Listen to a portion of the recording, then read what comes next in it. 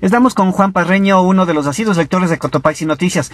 Nosotros hemos querido no que la gente vaya al periódico, sino que el periódico se acerque a nuestros lectores. Juan, usted es eh, uno de los que sigue eh, diariamente al, contenido que se publica en www.cotopaxinoticias.com. ¿Qué inquietudes tendría usted sobre el manejo del periódico? ¿En, ¿De qué aspectos le gustaría que la empresa le rinda cuentas? Sí, bueno, muy importante. Primero felicitando al, medio de comunicación información que, que, van emitiendo a diario es importante para los, las personas que seguimos el periódico. Entre las cosas que nosotros estamos es siempre la información al día, el periódico lo está haciendo, creo que es importante. Algunas cosas que hay que seguir puliendo, pero como todo periódico tiene que salir adelante. ¿Qué le gustaría saber de Cotopaxi Noticias?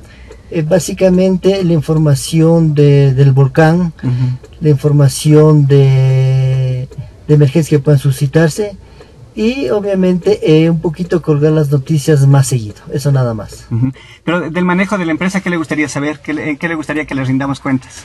Eh, bueno, realmente la empresa la ha manejado muy bien, realmente eh, se maneja la forma independiente, que es lo que interesa al lector, realmente la información es dada en forma adecuada, entonces yo creo que eh, la información que se emite a diario en el periódico es, es bien vista por, por, la gente que estamos siguiendo este, este medio de comunicación.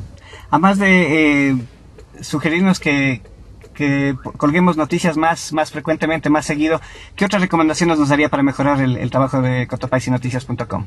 Sí, otra recomendación sería que el fin de semana hay veces que un poquito se moran las noticias. Entonces, fin de semana muchas veces la gente que, que, queremos ver una noticia, queremos saber, entonces eso se demora un poquito. Eso básicamente sería mi recomendación, mi sugerencia.